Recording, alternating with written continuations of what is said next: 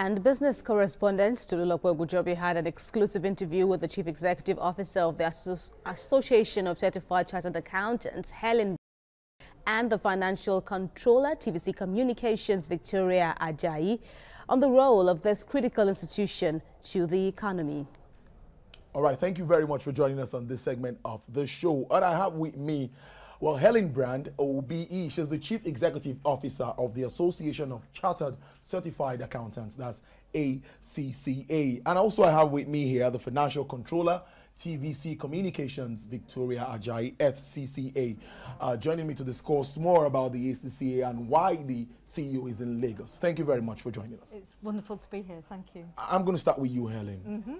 Why are you in Nigeria? Well, Nigeria is a very important global economy, as we all know, and Nigeria is very important to ACCA as part of our global family of members, students, and stakeholders. So, as the global CEO, it's very important that I connect with all our stakeholders in the market and really understand what it is that ACCA can do to contribute to the profession here and contribute to economic development. Talking about ACCA now, in strict terms, let's look at the impact on accounting profession. Mm. Tell us some of what you think you've, could I say achievements, or what you've, um, the objectives and what you've achieved so far. Okay, so ACCA is a global body for professional accountants. We have 200,000 members worldwide. Mm. And 486,000 students at various stages uh, of qualification our mission is to deliver public value, and by that we mean acting in the public interest, driving ethical business practices, and uh, supporting sustainable economic growth. And if, as a profession, we can do all of that, then we really are delivering uh, public value. Very importantly, of course, um, is, de is developing the capacity, um, professional capacity in the world. So we educate, train, and regulate members of the profession. And we also conduct a huge amount of research uh, to provide the insights to policymakers and others as to how they can strengthen the regulatory frameworks for business and the profession, how they can strengthen talent management, how we can drive successful business development in the decades ahead. Okay, uh, before I come back to you, now, let me ask Victoria what, what, one question. Uh, tell us, why did you choose ACCA, um, you know, instead of other accounting profession, uh, professional bodies, you know, out there? Um, it's an interesting question. It was a no-brainer for me, actually. um, I had uh, the options of about four professional accountancy bodies, but after doing some research, um, I decided to go for ACCA for the following reasons. One, it's a, a global professional body. It's, it has, it's highly respected, and it has um, such, it delivers such high quality value to its members and to students. So I thought I wanted something that was um, truly wide reaching. I wanted something that would give me a global passport. I didn't want to be restricted. I wanted to be able to work anywhere in the world. Mm. And that's what ACCA offered. It's, it's truly a glo global village, and I really wanted something that had that reach. Um, so it was, it was a top choice for me. Aside that, ACCA is premised on um, three three values. A lot of other accountancy professions focus on the exams. If you notice, people say, oh, we're writing exams, oh, we, and as soon as they finish the exams, it dies down. But with ACCA, there's a lot of focus on not just the exams, but experience. We have the professional um, ex, um, experience requirement, uh, the, P, the PR that's required for you to become a member. So even if you finish your exams, you've got to have certain level of experience before you become a member. And also ethics. So it's exams, experience, and ethics. And that's very critical for me integrity is key for me as, a, as an accountant. Very good one. Ethics and professionalism. Mm -hmm. That's where I'm going to go to now. Now, tell us how this has actually helped the financial profession. Talking about good ethics and professionalism mm -hmm. with mm-hmm. regards to ACCA too. Tell us. Well, ethics lies at the very heart of being a professional accountant. I guess it's what distinguishes you from having a diploma mm. or an academic qualification with being a professional. As a professional, you sign up to a code of conduct, uh, to a code of ethics, which you abide to for your entire career. So. Mm Um, we monitor, as ACCA, we monitor the conduct of our members against that code of ethics. And should uh, a member of the public, an employer, a government complain about our member, we will investigate and ultimately and go through a disciplinary process and ultimately if found proven that member can be removed from the register which is a very big sanction you know it's it's really affecting the livelihood of that person but it is ensuring that adherence to the code of ethics so incredibly important part of the profession because the public has to trust professional accountants, uh, trust them to be the guardians of good ethical practice in business. So it's not just about what you do, it's about how you do it. And I've quite often heard the CFO referred to as the ethical guardian of a business. Uh, they really have to be ensuring that good corporate governance, good ethical behaviours are prevalent uh, throughout the organisation. So it's a fantastic role. It's one I think the public wants to see more and more. They want to be able to trust business, they want to be able to trust institutions. And of course our members work in all sectors. They work in the corporate sector, the public sector in, in practice. And it's very important that the public knows that they can rely on those fully qualified professional accountant. In, indeed, still talking ethics now, it brings me to the situation we find ourselves in Nigeria, talking about corruption and, you know, uh, uh, many people believe accountants just handle money. Yes, I know accountants can work somewhere else to not all, all banks and banks and banks. But how do you think good ethics can help address corruption, which is prevalent in Nigeria? Yes, um, well, ethics is a personal issue.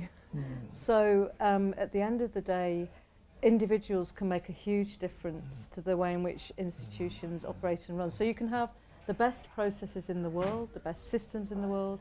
If the individuals in there don't behave ethically, it won't matter. It won't. It won't. It won't happen. So I think it's incredibly important that, and, and I know that this puts uh, professional accountants under pressure every day because they have to um, have the strength to do the right thing in circumstances that can be really challenging. But the point of being part of a profession is you have a network of fellow professional accountants there to support you. You have your institution there to advise you and support you and to guide you through ethical dilemmas. ACCA has just introduced um, a new ethics and professional skills module, which is a digital interactive module okay. which tests the individual with real life ethical dilemmas and say, what would you do? So we're constantly testing and developing our members' minds to be able to cope with those situations. Mm. So it, progress will be made. We just issued a, a report uh, around the shadow economy, looking at the global shadow economy. We also looked at Nigeria. We, we, we estimate, well, the, the report estimates around 48% of GDP okay. is in the shadow economy in Nigeria. Mm. But we do predict by 2025 that will reduce uh, to around 45%. Right. So things are going in the right direction, but there's still still a lot of progress to be made. A lot still needs to be done. Well, my next question goes to Victoria now, uh, and I want to say the way it is here. With the growing interest in artificial intelligence, a number of jobs are now being taken over, particularly accounting by robots and uh, and all of that. How do you feel as a finance professional looking at all of this? Okay, um, I have read a number of articles um, that have been put out there that would say you know, top 10 jobs or top 10 professions that are likely to be taken over by robots. And then you'd see accounting, and you see auditing. And I smile because honestly, the response to that is I'll tell the robots to bring it on. Um, because, you know, the fact is that repetitive tasks or repetitive duties or routine type of duties um, are threatened by um, ro robots. And in fact, we had uh, the opportunity to play around with some of these robots at the last African Members Convention mm -hmm. in Addis Ababa. And a lot of accountants, it was really on their minds, and we decided to question one of these robots. I think it was Peggy, the accounting robot. So we said to the accountant and just asked it a question that was non accounting related. And the response from the robot was, I'm sorry, I don't understand your question. So it, it, I mean, it, it, lets you know that um, in as much as the robots are there, they're there to complement the work. We can leave the number crunching to the robots whilst the accountants focus on strategic thinking. Accountants will become um, business advisors and business partnering. You can never take that away, and the robots will not do the thinking for you.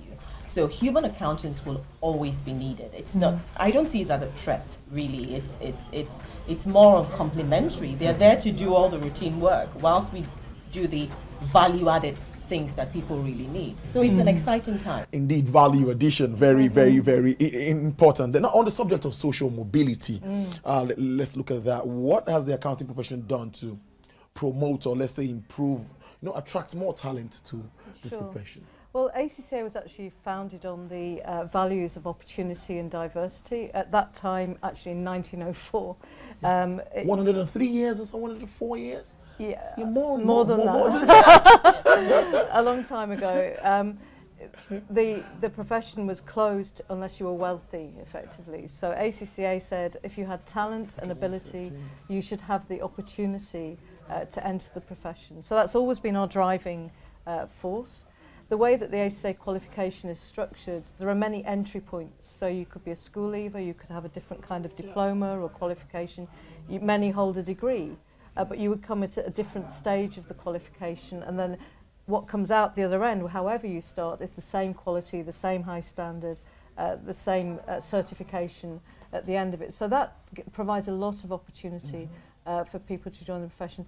But our latest um, report on social mobility does say that we need to do even more as a profession as a whole to, first of all, promote the profession to young people, to young talent, so that they realise it's there as an opportunity. It's not always top of the list yeah. of what young people are thinking about, but as the foundation for a career in any business, um, a professional accountancy qualification such as ACCA is fantastic and provides uh, a pathway to so many opportunities.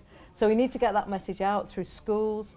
Age 13, 14 now, young people are deciding the path they want to take. And this gives them a, we can start then with very basic education in financial literacy, uh, and to expand that pool of talent that is coming into the profession. All right, finally, for, for, for you now, emerging technology trends now, mm. let's look at it. Now, how would you say accountants are really prepared for, um, let's say, technological advancements, how we're going digital and all of that? Are accountants really prepared? Let me say, ACCA members, are they prepared for, yeah. for this advancement? We, we did a, a big piece of work a couple of years ago called Professional Accountants, the Future, and we were looking at what we call the quotients for success, the seven quotients, and one very key one there is the digital quotient. Okay. So we're training our members uh, to be uh, happy and be able to use that digital technology, but we're also um, training our students, so we're making sure that they are work ready through using digital applications. For example, our examinations now are being moved to computer-based examinations. And that's not what might come into your mind from years ago, multiple quest choice questions. They're actually filling in spreadsheets in the examinations. So instead of writing about a spreadsheet, you're actually performing on a sp spreadsheet. And this makes you work ready. Yes. So absolutely, that digital future, um, it, you know, it, it's key to everything that we have in our lives and the profession no less. And we have to embrace it and we have to uh, be embedded in it so that we can add the value. Indeed. Uh, well, uh, for, before, I, before I round this up, Victoria, now as a fellow, what's your advice to prospective accountants and also members?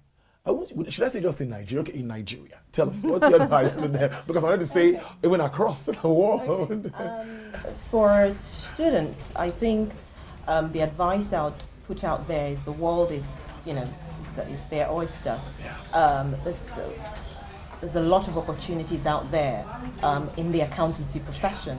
Um, those who are students right now may be thinking, should I or should I not? I would say go for it. The reason I say that is because um, in every organization, they always need a money's person. they need the person who will keep the money.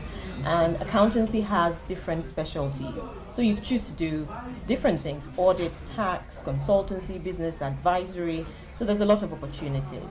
There's also the fact that you can work in different industries. You know, Nigeria, a lot of people are big on oil and gas. Um, some people want to do health sector, some want to do pharmaceuticals or manufacturing. You would always need a finance person in all of those uh, sectors. So you have a wide range um, as an accountant, you could work in different industries and you could specialize in different things. So the world is really there um, at your oyster. And in addition to, to what Helen had mentioned um, in terms of preparing um, accountants uh, for the future and this big research ACCA has done, um, the, the, the, the quotients um, that were that, that they came up with in that report really, really important. I would humbly um, advice, because you had asked for advice for students yeah. and members. Yeah. Uh, my humble opinion to members will be to look up that report because it's on everyone's minds artificial intelligence, digital age, all of that, and they're wondering what skills do I need? Now, those seven skills are very important. On the ACCA's website, you even have a skills test, so you can check yourself to see where there's a gap in all of those seven quotients. Um, one of the quotients, you had mentioned the digital quotient, one of them is vision quotient. So you just know that not, accountants um, of the future are not just about numbers, they're not just number crunchers. The vision quotient, for instance, um, speaks to the ability to think innovatively. It speaks to the ability to be able to predict um, uh, future trends accurately. So these are the type of skills we're asking accountants to develop. Um, people uh, don't, uh, or the way I'll put it is people are um, excited by vision and not numbers. You could reel out numbers, but it doesn't excite people. Vision is very important. And one of the um, most interesting or most liked speeches of our time um, for Martin Luther King is he said, I have a dream. That speaks to vision. So accountants are, are being told that these are the skills you need. It's not just about number crunching, it's about vision, it's about creativity, it's digital. You know, it's emotional, intelligence, intelligence, I think.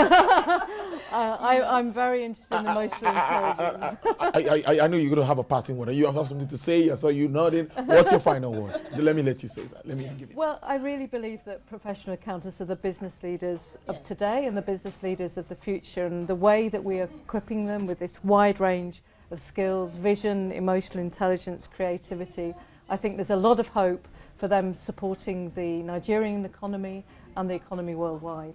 Indeed, you've heard it from them, the Chief Executive Officer of ACCA, Helen Brand, OBE, and also the uh, Financial Controller, TVC Communications, Victoria Ajayi, giving insights into activities of the ACCA and, you know, telling us what to expect, projections, what accountants can do, and all of that. Well, thank you very much for joining us on the show. I must really appreciate you. With that's it for this segment. I'm Tolu Lokbe Ogunjobi.